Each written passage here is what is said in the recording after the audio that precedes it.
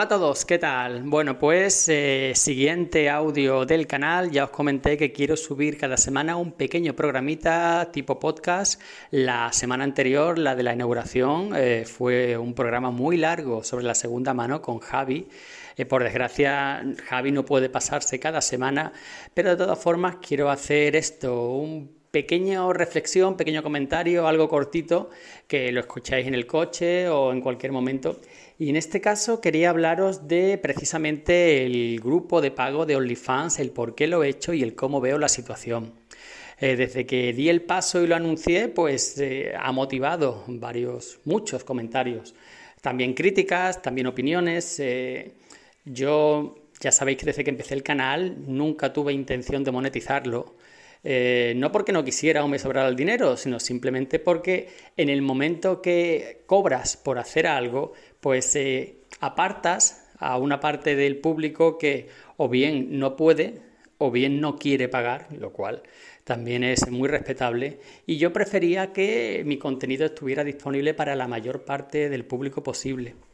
Eh, pero cuando mi situación económica cambió, ya os expliqué eso en el vídeo del canal de YouTube donde anunciaba OnlyFans, pues yo no podía seguir manteniendo el nivel de compras. Eh, así que cerré el canal, pero dado el ánimo y dado las ganas que la gente tenía de seguir eh, viendo los vídeos y disfrutando del canal, pues tuve que optar por esto.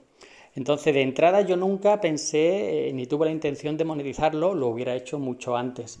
Ni siquiera puse anuncios en el canal, nada pero eh, dado que ahora es necesario, he optado por esto. ¿Y cómo veo yo las cosas? Mira, eh, yo creo que soy el único que ha puesto, eh, bueno, el único, el único de los youtubers que yo conozco sobre cómic. Yo no soy consumidor de YouTube, yo tampoco consumo mucho podcast, salvo de vez en cuando cuando tengo un viaje largo que sí me descargo alguno de Ansia Viva o de Todopoderosos, pero que yo sepa, soy el único YouTube de cómic que ha puesto su canal completamente de pago, pero creo que no voy a ser el único. Si no completamente de pago, creo que el resto de youtubers tarde o temprano van a incluir la opción eh, de pago o una opción de miembros eh, de pago. ¿Y por qué? Porque yo no vivo solo dentro del mundo del cómic. Yo leo periódicos, revistas, veo programas, yo y cada vez noto más que hay una tendencia a la, monetización del contenido digital, cada vez más. Es algo que ha ido introduciéndose muy lentamente, muy paulatinamente, pero imparable. Los más viejos del lugar recordarán hace varios años cuando empezaron las plataformas de pago. Las plataformas de pago eh, que en los tiempos de María Castaña era Canal Plus, era un canal de pago, algo completamente nuevo y que mucha gente se negaba a pagar y nunca pagó. Decía que para qué iba a pagar algo teniendo canales en abierto. Pero poco a poco fue introduciéndose, Canal Plus llegó a tener una gran, una gran incidencia, había una parte importante de la población que lo tenía y sobre todo a través del fútbol. El fútbol de pago, que de nuevo causó muchísimo rechazo dentro de la ciudadanía, pues poco a poco se impuso como normal. Y hoy día, si tú quieres ver el fútbol, pagas. Y no te, no te molesta. Por supuesto que lo preferirías tener eh, en abierto, pero eso ya no ocurre y la gente paga. De igual manera que las múltiples plataformas, Netflix, HBO, Amazon, pero no solo las foráneas, eh, también tenemos A3 Media, tenemos un montón de Filmix, un montón de plataformas de contenido digital de pago en España y la gente paga, no una, sino dos, tres.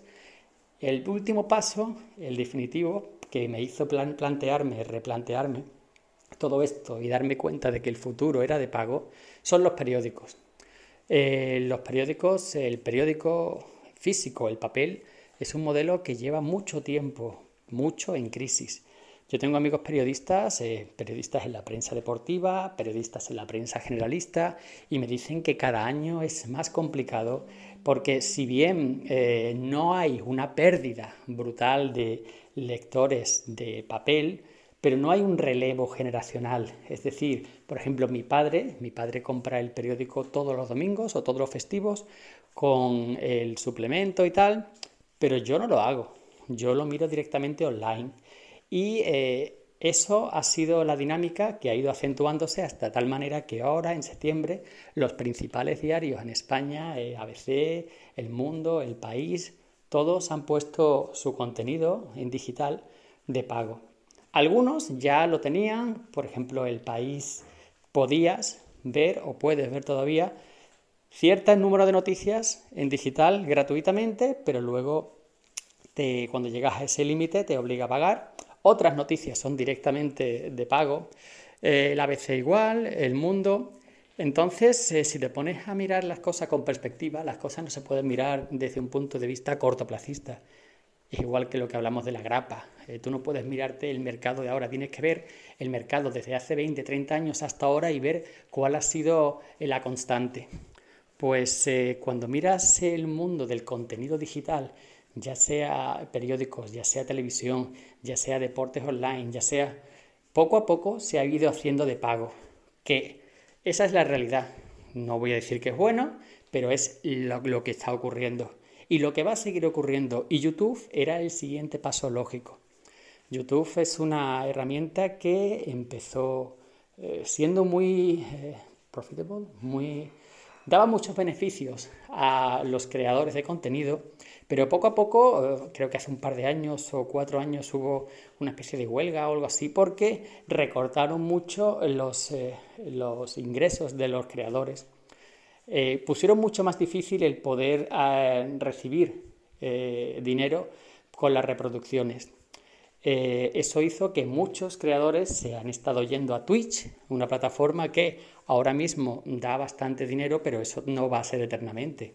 Twitch está posicionándose en el mercado, intentando crear unos hábitos en el consumidor y cuando lo tenga ya, pues empezará a cobrar por cada canal, ya eso ya se verá. Pero me quiero centrar en YouTube. YouTube, ahora mismo eh, yo, yo